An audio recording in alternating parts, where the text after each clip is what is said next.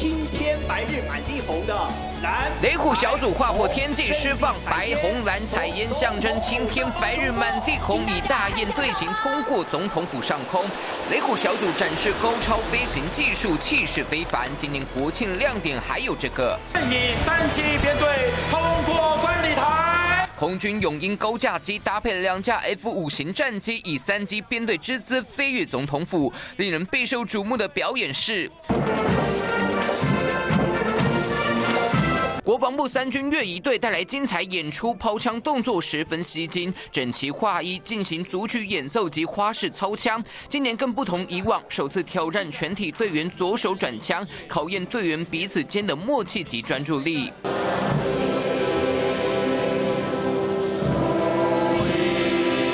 由马祖四乡舞蹈儿童合唱团和七位国军级海巡代表共同领唱国歌。特别的是，今年首度三地连线，包括总统府、马祖、左营军港。同时间，国军 CH 四七 SD 气努克吊挂巨幅国旗，凌空飘扬，缓缓通过总统府前广场上空。阿帕奇还可以超越各种地形障碍，适合执行各项紧急应变任务。五架 AH 六四一阿帕奇攻击直升机组成旋翼机队，进行大雁队形空中分裂式，让民众一睹风采。压轴演出的雷虎小组冲场，以五级编队方式冲过总统府上空，也替这次国庆大会画下完美句点。记得杨奇后杨宗彦台北报道。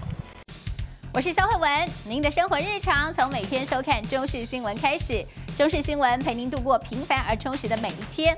更多新闻也请您锁定中视新闻 YouTube 频道，记得按赞、订阅、分享，还要记得开启小铃铛哦。